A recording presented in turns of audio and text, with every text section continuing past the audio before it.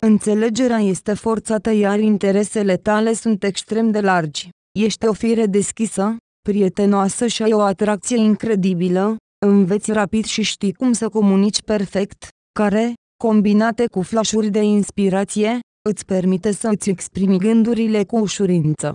Poți fi cunoscută pentru noile idei progresive și știi cum să le distribui printre ceilalți. Cu mult mai flexibilă decât majoritatea vărsătorilor, ești mereu în căutarea unei experiențe noi. Entuziasmul tău, empatia și interesul față de binele public sunt de folos pentru mulți oameni, deci poți fi un exemplu excelent pentru cei mai puțin optimiști. Tu acorzi o atenție deosebită activităților tale profesionale, te-ai adaptat la ceea ce faci cu ușurință. Ai un sentiment excelent al timpului și știi cum să alegi momentul potrivit pentru a avansa în afaceri și în dragoste. Aceasta din urmă reprezintă pentru tine un hobby pasional, căruia îi dedici multe ore în întreaga săptămână de lucru. Semnul zodiacal vărsător este direct legat de semnele elementului aer, care se disting prin următoarele calități, originalitate, democrație, seriozitate, aspirație pentru viitor, cosmopolitism, deoarece vărsătorul este controlată de două planete simultan, personajul tău se distinge prin ambiguitate impresionantă. Mai mult decât atât, nu este neobișnuit ca un vărsător să fie condus de un Uranus iubitor de libertate și încăpățânat, dar forțele lui Saturn te depășesc cu maturitatea. Tu posezi în mod natural o minunată înțelegere intuitivă a majorității proceselor din lumea din jurul tău, dar poți suprima această abilitate cu îndoieli inutile și neîncredere față de tine însăți. Guvernarea lui Saturn îți oferă terenul necesar și îți poate crea uneori o stare de spirit depresivă. În același timp, Uranus înălțată te răsplătește cu spiritualitate intuitivă și capacitatea de a genera idei complet originale. Astfel, în anumite perioade ale vieții te găsești pe un fel de leagăn, ce pot varia la vârste diferite, de la starea de geniu excentric până la pragmatism excesiv de precaut. Este ușor de ghicit că principala sarcină de viața ta este menținerea echilibrului armonios. Emoționalitatea excesivă combinată cu imaginația magnifică te poate conduce către complexe de geniu nerecunoscut, iar tendința de a respinge ideile de rând ca fiind nerealiste, din potrivă, poate duce la oportunități ratate și la o viață prea plictisitoare. Dar, în general, ești o persoană prietenoasă și loială, luminoasă, puternică și plină de viață, care trebuie doar să țină cont de personajele complexe ale patronilor stelari și de influențele lor conflictuale. Planeta ta guvernatoare este Uranus. Aceasta determină progresul tău. Planeta este favorabilă pentru cele care descoperă noi direcții în artă. Planeta ta în exil este Soarele. Soarele este responsabil pentru lipsa unui nucleu intern, precum și pentru incapacitatea de a prioritiza, falsa ta afecțiune și lipsa de emoție. Ești o persoană deschisă lumii, care e interesată de aproape totul în jur. Cauți mereu ceva nou, ascuțit, neexplorat, interesant. Ești interesată de noi tendințe, idei noi, prin care devii un dirijor al bucuriei, răspândind în mediul tău destul de vast. Diferența față de restul vărsătorilor este că ești mai flexibilă și mai capabilă să te adaptezi. Atenția și înțelegerea sunt punctele tale fortei. Ești carismatică, ai un număr mare de prieteni și cunoștințe, ca orice extrovertită deschis la lume. Adesea te simți inspirată creativ, ceea ce te face mai atractiv în ochii celorlalți. Ești obiectiv în ce privește ceea ce poți și nu poți face. Este posibil să nu fii suficientă de strălucitoare pentru a uinge pe alții cu originalitatea ta uluitoare, dar îți deții perfect meseria. Punctualitatea nu este prietenă cu tine, deși rar întârzi. Ești răbdătoare și persistentă, astfel încât îți atingi întotdeauna scopul de fiecare dată. Deoarece ești speriată de ideea intrării într-o relație de afaceri, atunci când realizezi o activitate comună, creezi doar aparența că faci parte din echipă, preferând să acționezi independent. poți fi în mod special retrasă. Aceste lucruri se datorează, probabil, faptului că ești neconvențională pentru orice relație, mai ales în sfera sexuală, care nu este întotdeauna încurajată de societate. În ceea ce privește interesele pământești care sunt dragi oamenilor obișnuiți, uneori se pare că te-ai născut cu o indiferență totală. În cazul în care relațiile nu se dezvoltă dintr-un anumit motiv, fie le întrerupi, fie le menții la același nivel. În afaceri, ești norocoasă și poți ajunge la înălțimi semnificative. Cu toate acestea, cheltui repede bani și, cel mai rău dintre toate, nici nu-ți dai seama pe ce ai cheltuit, ca și când banii ar fi trebuit pur și simplu să treacă printre degete. Poți considera că este dificil să obții stabilitate și consecvență în viață, dar cu o anumită flexibilitate aceste lucruri poate fi atins. Te adaptezi ușor și rapid situației, astfel încât nu te temi de schimbarea circumstanțelor și de incertitudine. Se pare că o atitudine serioasă și mai puțin frivolă față de viață ar putea deveni nucleul relației tale cu lumea, dar în realitate aceste lucruri se întâmplă rar. În ceea ce privește faptele, detaliile, metodele de organizare a muncii, încercarea și verificarea acurateții sau inexactității acestor metode, trebuie să dezvolți o abordare rezonabilă a realității. O înțelegere profundă a ceea ce se întâmplă trebuie combinată cu o mai mare stabilitate și încredere în sine, numai în acest fel pot fi echilibrate nevoile spirituale și fizice. Nu ești similară cu alte vărsătoare având astfel de calități, ești interesantă, plină de noutate, de siguranță. Cum afectează data de 3 februarie soarta ta? Acorzi o mare importanță în realizărilor tale profesionale. Tu aplici cu succes cunoștințele și experiența ta în muncă. Te simți bine când trebuie să-ți faci treaba și să ai mereu decizii importante la timp. În relațiile personale, poți obține cel mai mare succes. Intimitatea îți consumă mult timp. Îți apreciezi cu adevărat puterile, și nu te înhami la un proiect a cărui finalizare cu succes nu este sigură. Cu toate că nu ai talente deosebite, nu ai suficiente stele prietenoase pe cer, în munca ta poți atinge perfecțiunea. Nu îți place să fii punctuală, deși întârzierea nu este specifică pentru tine. Răbdarea și perseverența în muncă te ajută la atingerea scopului dorit. Lucrul într-o echipă îți provoacă dezgust, de aceea, dacă devine necesar, păstrezi aparențele, făcând în realitate munca ta izolată. În materie financiară, norocul îți zâmbește și reușești să obții succes.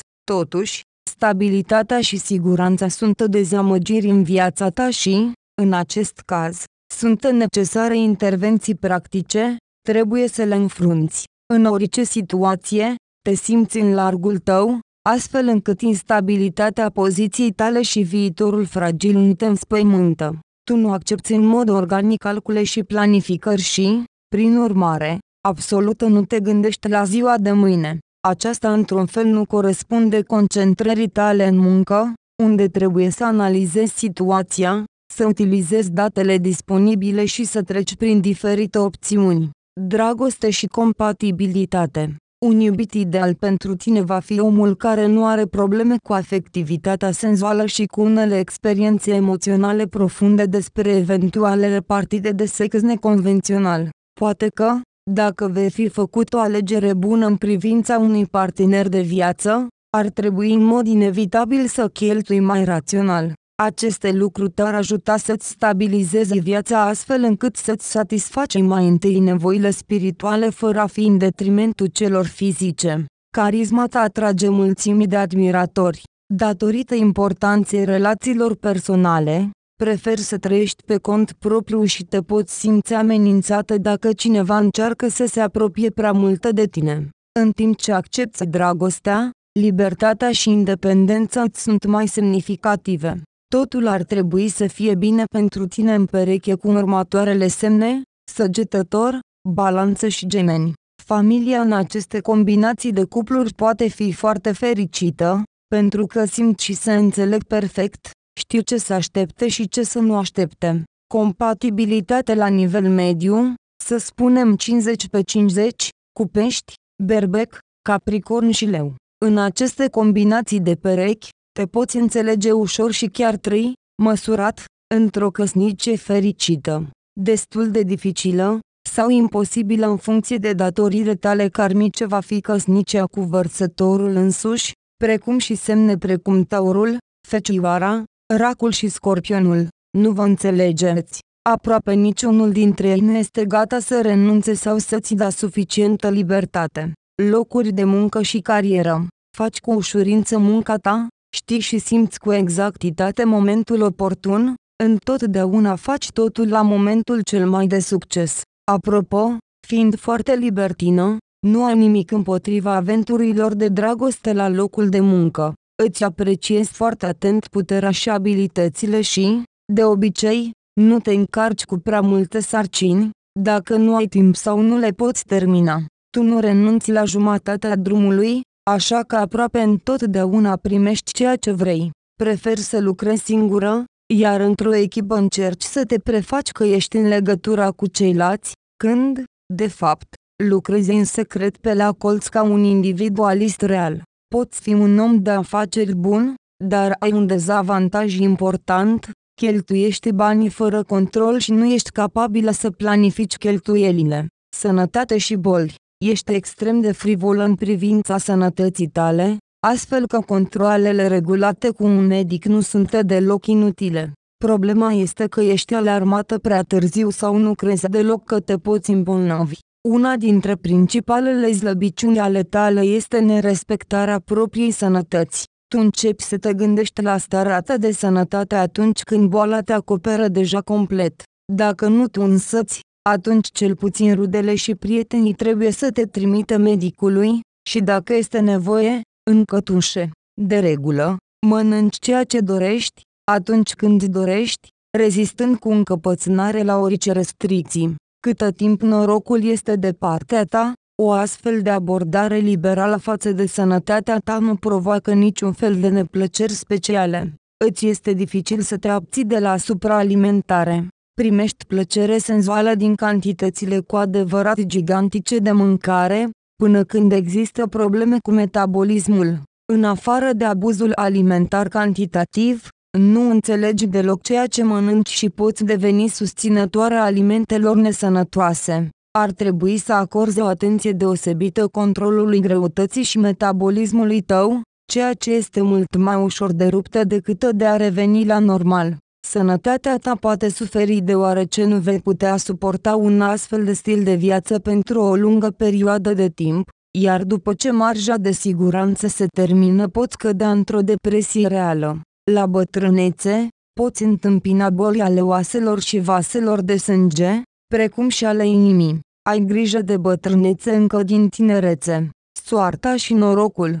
Dacă este să fac o analiză pur numerologică aș spune că ai venit pe această lume pentru a-ți extinde datoriile karmice.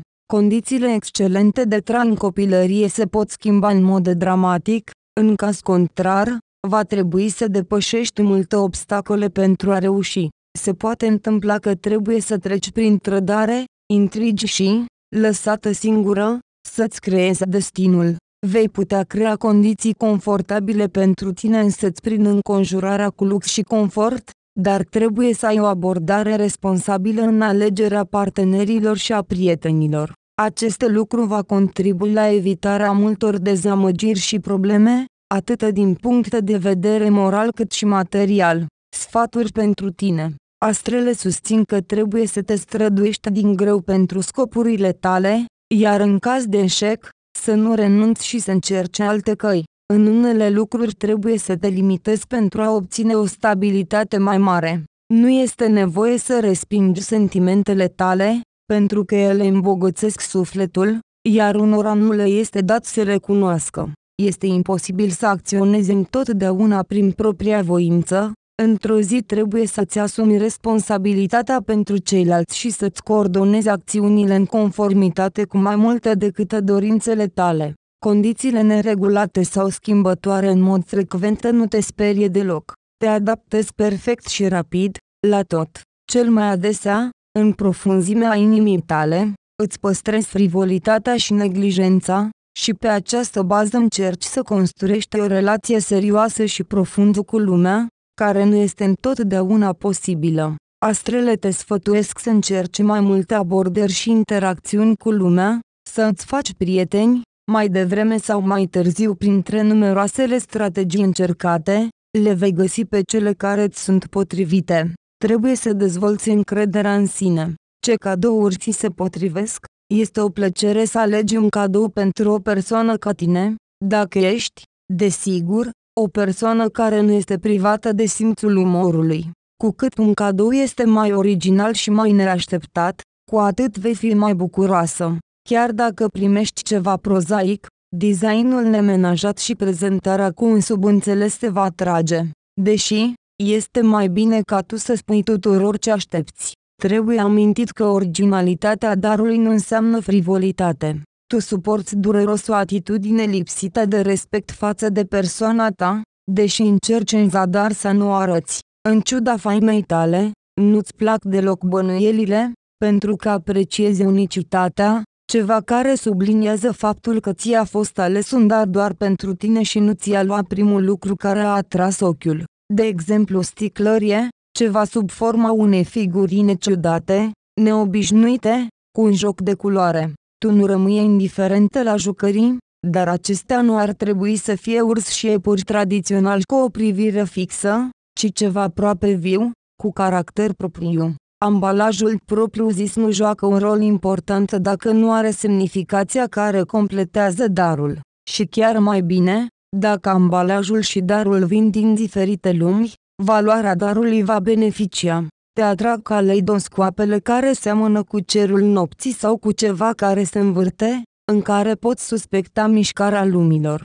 Există o șansă de a-ți scrie o melodie pentru tine, ei bine, va fi cel mai bun cadou pentru tine. Dintre flori preferi cele mai delicate și mai fragile, lalele, iriși, narcise. Mare iubitoare de experiențe culinare, o carte mare de rețete și orice ustensile de bucătărie dacă se poate frumos colorate te vor bucura. Pentru tine frumos, poate însemna util, de aceea la alegerea unui cadou, cel ce ți-l oferă ar trebui să știe măcar care este definiția ta pentru frumos. Bijuteriile ar trebui să fie nu numai valoroase, dar și mari, stridente. Cercei de ochiați gen candelabru sau câinele foarte mari, broșe multicolore. Și încă ceva, să poarte o marcă cunoscută de tine. Acesta este un portret general pentru tine. Te vei descoperi cu adevărat într-o astrogramă natală în care vei afla predispozițiile pentru întreaga viață, așa cum ți le-au dăruit ursitoarele tale.